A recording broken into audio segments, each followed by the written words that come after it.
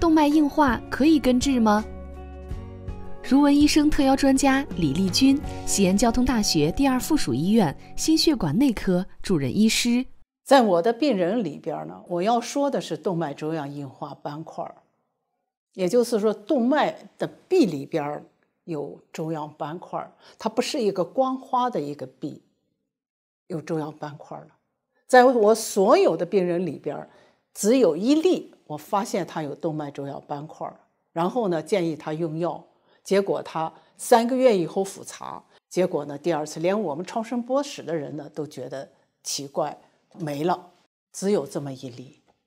但是我们可以控制它，不希望它再长大，让这个斑块活火山变成了死火山，也就不要喷发，因为它动脉粥样斑块一破坏、一破裂以后呢，就会形成血栓，堵哪哪都是麻烦，